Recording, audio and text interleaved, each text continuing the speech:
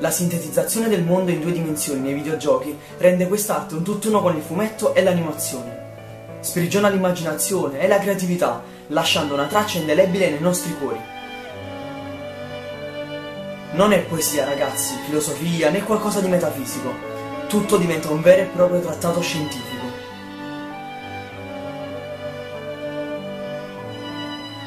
E tu cosa diventi? Diventi padrone di un'opera d'arte che come un omicidio nulla è messo a caso.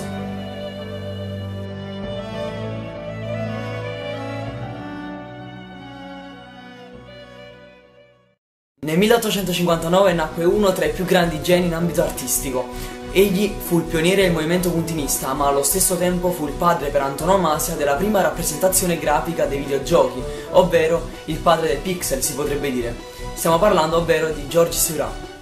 Georges Seurat fu un grandissimo artista del Novecento. Egli fece parte appunto della cerchia degli post-impressionisti. Uh, nonostante il grande impatto emotivo dinanzi alle sue opere, uh, come ad esempio una domenica pomeriggio all'isola della Grandiato oppure il circo, egli um, non era di tendenza espressiva ma di tendenza analitica. Egli elaborò il suo stile e la sua tecnica grazie alle teorie di Chevreul, che apre e chiudo parentesi, campo cent'anni. Vabbè, comunque, Chevreul fu un chimico francese. Egli, grazie alle sue teorie sul contrasto simultaneo, ovvero l'unione di due gambe di colori complementari, e anche grazie alla ricomposizione retinica, Seurat eh, riuscì a, da a, dare vita appunto alla tecnica puntinista. Chevreul vide, studiando gli arazzi, che due fili di lana, visti a una certa distanza tra loro, creavano un colore completamente nuovo, che era appunto dato dalla somma delle due gambe. Grazie quindi a queste teorie nacque per mano di Seurat il puntinismo o anche detto divisionismo. La cosa grandiosa di questa tecnica è che il quadro emanava un'immensa luminosità, non si andava a colorare i punti oppure a sfumarli, perché il quadro emanava già di per sé una luminosità infinita. In merito a ciò, quindi, si può anche intuire come questo discorso sia collegabile al campo videoludico. Stiamo parlando dei videogiochi in 2D e in particolar modo quelli realizzati in pixel art. G-Bomb! Ma stiamo parlando di Minecraft, tipo, cioè quello è pixel, Minecraft non è... No. No. La pixel art è una forma d'arte digitale che segue le orme del puntinismo. L'immagine appunto è realizzata pixel per pixel con appositi programmi grafici. Ad esempio, in questo screenshot di Mario potete notare un esempio di pixel art. Come possiamo vedere ragazzi, qui c'è un background statico e personaggi che si muovono su di esso. Questi sono delle sprite.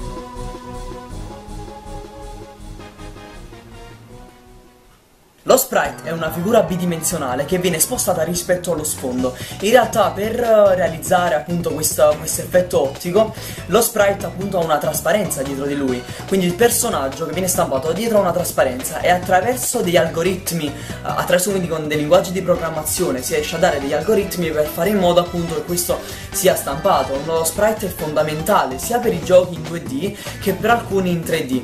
In realtà mm, un'immagine che in realtà si stampa un'immagine che è l'insieme di tanti sprite, un'immagine enorme che viene chiamato Atlas, che viene chiamato Spriteset, ma non vorrei fare tutto il perfettino, tutto... Non so come cazzo si chiama, può chiamarsi Atlas, può chiamarsi Spriteset, quindi in un certo senso questa immagine viene poi divisa in tante parti e vengono le singole parti stampate all'interno di questo sfondo. Alcune persone pensano che i videogiochi in 3D siano più realistici matematicamente e fisicamente rispetto ad alcuni in 2D. Cioè, ragazzi, cazzate, non è vero, perché Basti pensare che c'è una vera e propria fisica ferrea dietro videogiochi in 2D, che ne so, serve appunto per simulare la fisica, la gravità, le collisioni, tutte queste cose vengono comunque implementate attraverso dei, dei linguaggi di programmazione e sembra appunto che il protagonista uh, sia vivo. Per dare un certo, un vero e proprio realismo a, a videogiochi anche in 2D, non si fa altro appunto che dare una vera e propria ferrea fisica, ripeto. In questo caso ho scritto due semplici formule che riassumono il movimento e il salto del nostro beniamino baffuto. Attraverso una semplice legge oraria del moto rettilineo uniforme, Mario assume proprietà fisiche che lo rendono più realistico. Il fatto che c'è meno fotorealismo rispetto a un videogioco 3D, mh, mm, ragazzi, paradossalmente è un bene.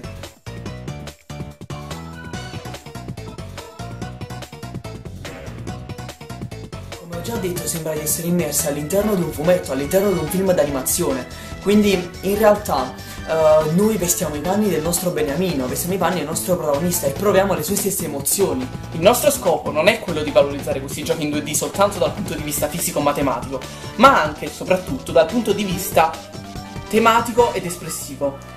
Uh, seriamente mi sta davvero sul cazzo la frase Eh ma i videogiochi in 3D sono molto meglio di quelli in 2D Ragazzi sono stronzate. Soltanto perché ad esempio in un Assassin's Creed zompiamo da una parrocchia Uccidiamo la gente con delle lame celate di merda. Non vuol dire che il gioco è più serio. Volete un esempio lampante? Uno che calza davvero a pennello Shank o Shank 2 Ci sono ottime animazioni, uno stile grafico meraviglioso Ed è rapido e violento al punto giusto. La trama del 2 personalmente la trovo alquanto banale Ma ok, mi piacciono robe super cafoni all'Assassin's Creed. Bene, allora provatelo Poi venite a dirmi che giochi in 3D sono meglio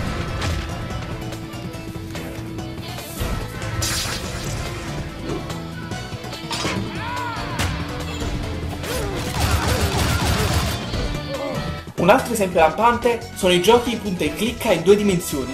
Basti pensare a giochi come Monkey Island o il Professor Layton. In questi giochi viene sintetizzato il mondo in due dimensioni dove tu e soltanto tu sei il protagonista della storia e sei tu a scegliere il tuo destino. Sapete, sono giochi come questi che accendono un paio di neuroni alla gente.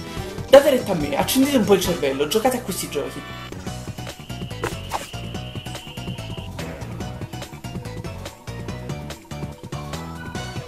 Noi non vogliamo svalorizzare i videogiochi in 3D, ci sono tantissimi giochi che hanno fatto il botto, basti pensare a Heavy Rain, basti pensare all'ultimo Tomb Raider, basti pensare alla serie Bioshock.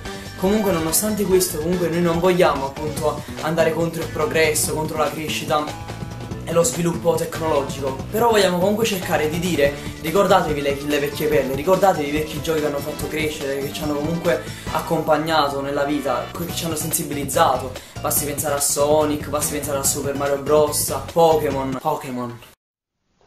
Pokémon. Ci vorrebbe un video a parte per Pokémon, eh, quindi non vorrei dire in due secondi questo grandissimo fenomeno. Comunque, il punto è che nonostante ci siano grandissimi giochi in 3D, molti del, non vanno sottovalutati. Cioè non dobbiamo sottovalutare, non dobbiamo prenderli appunto sotto mano, ma dobbiamo appunto cercare di, di pensare che comunque questi ci hanno fatto crescere e sono gli stessi giochi che tuttora comunque vanno forte. Basti pensare ad esempio a Rayman Legends oppure come ha già detto Gibbo a Shank e Shank 2. Questi giochi sono fantastici da qualsiasi punto di vista, graficamente, uh, sia dal punto di vista tematico, dal punto di vista del sonoro, da qualsiasi punto di vista. E hanno un intrattenimento e un divertimento che comunque sono fantastici. Cioè non hanno rivali, secondo me.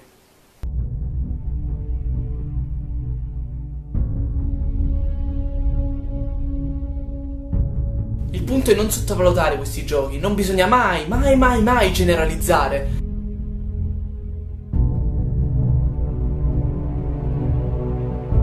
Ci hanno fatto piangere, ridere, responsabilizzare. Wagyu, vi ricordavate? Correvamo dall'amichetto per vedere a che punto del gioco era. Ci siamo affezionati, abbiamo dato il cuore. Come ci ha insegnato il buon Sura, sintetizzare il mondo non significa abbandonare il realismo, ma approdare verso nuove frontiere. Significa non rimanere più con i piedi per terra e cercare di volare.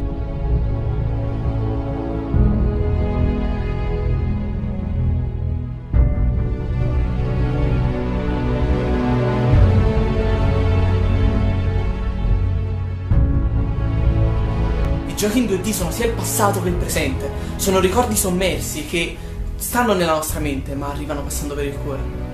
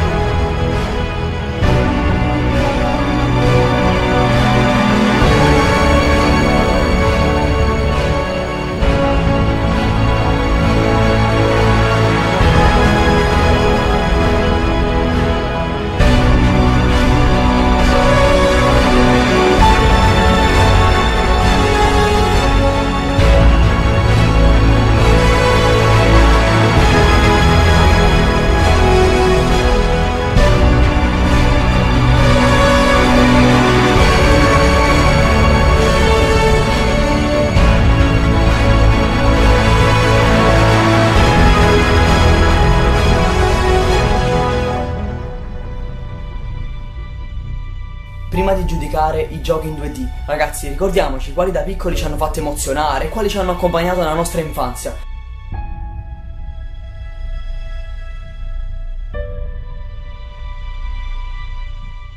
Come insegna il buon Leopardi, la rimembranza è il ricordo rivissuto, è capace di connotare luoghi, situazioni e immagini familiari. Il gioco in 2D non è morto, per lui il tempo non passerà mai.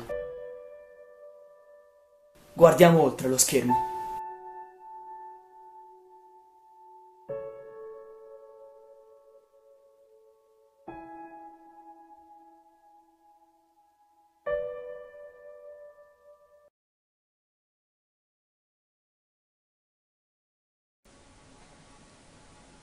Amen. Hat man jedes Amen.